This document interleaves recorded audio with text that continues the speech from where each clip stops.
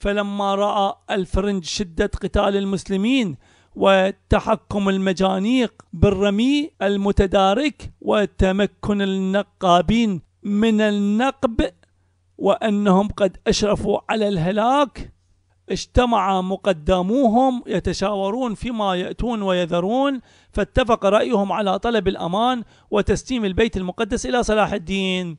فأرسلوا جماعة من كبرائهم وأعيانهم في طلب الأمان فلما ذكروا ذلك للسلطان صلاح الدين امتنع من إجابتهم وقال لا أفعل بكم إلا كما فعلتم بأهله حين ملكتموه سنة 91 و400 من القتل والسبي من القتل والسبي وجزاء السيئة بمثلها.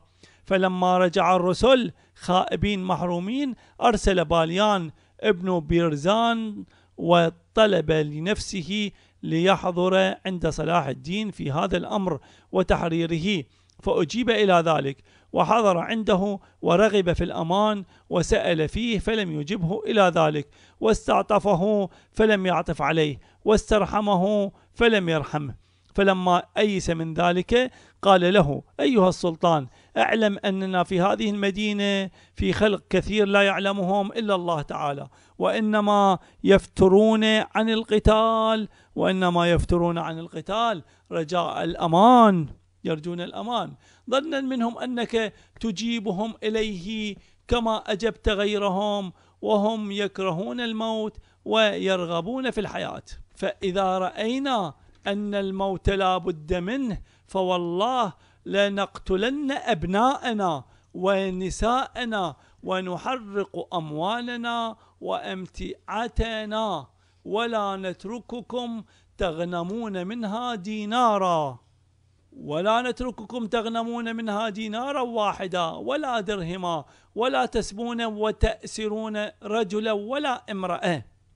وإذا فرغنا من ذلك أخربنا الصخرة والمسجد الأقصى وغيرهما من المواضع ثم نقتل من ثم نقتل من عندنا من أسار المسلمين وهم خمسة وهم خمسة آلاف أسير ولا نترك لنا دابة ولا حيوانا إلا قتلناه. ثم خرجنا إليكم كلنا فقاتلناكم قتال من يريد أن يحمي دمه ونفسه. وحينئذ لا يقتل الرجل حتى يقتل أمثاله. ونموت أعزاء أو نظفر كراما. فاستشار صلاح الدين أصحابه فأجمعوا على إجابتهم إلى الأمان وأن لا يخرجوا ويحملوا على ركوب ما لا يدرى عاقبة الأمر فيه عن أي شيء تنجلي. يقول فاستشار صلاح الدين أصحابه فأجمعوا على إجابتهم إلى الأمان. يقولون لأننا إذا لم نعطي نستجب إلى الأمان سندخل في أمر لا نعرف ما هي نتيجة هذا الأمر لا نعرف عاقبة هذا الأمر. فأجمعوا على إجابتهم إلى الأمان وأن لا يخرجوا ويحملوا على ركوب ما لا يدرى عاقبة الأمر فيه عن أي شيء تنجلي. ونحسب أنهم أسارى بأيدينا فنبيعهم نفوسهم بما يستقر بيننا وبينهم. فأجاب صلاح الدين حينئذ إلى بذل الأمان للفرنج. فاستقر أن يزن الرجل عشرة دنانير يستوي فيه الغني والفقير. ويزن الطفل من الذكور والبنات دينارين وتزن المرأة خمسة دنانير فمن أدى ذلك إلى أربعين يوما فقد نجا ومن انقضت الأربعون يوما عنه ولم يؤدي ما عليه فقد صار مملوكا. فبذل باليان بن بيرزان عن الفقراء ثلاثين ألف دينار فأجيب إلى ذلك.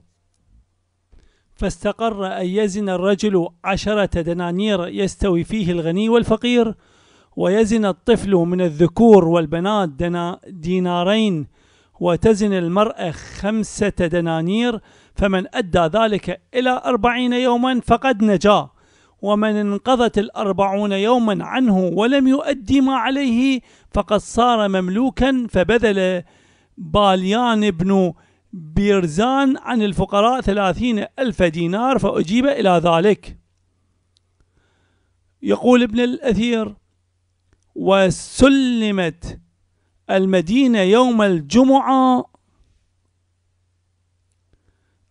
السابع والعشرين من رجب وكان يوما مشهودا ورفعت الأعلام الإسلامية على أسوارها.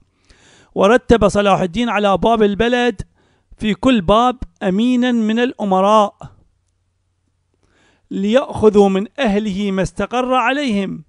فاستعملوا الخيانة أمراء من الخونة يسرقون الأموال فساد. فاستعملوا الخيانة ولم يؤدوا فيه أمانة. واقتسم الأمناء الأموال وتفرقت أيدي سبا وتفرقت أيدي سبا. ولو أديت فيه الأمانة لملأ الخزائن وعم الناس. يكمل ابن الأثير. ثم إن جماعة من الأمراء ادعى كل واحد منهم. لاحظ هذه أنواع من الخيانة من التطبيقات من الخداع من المكر لسرقة الأموال. يقول ثم إن جماعة من الأمراء ادعى كل واحد منهم أن جماعة من رعية من رعية إقطاعه مقيمون بالبيت المقدس.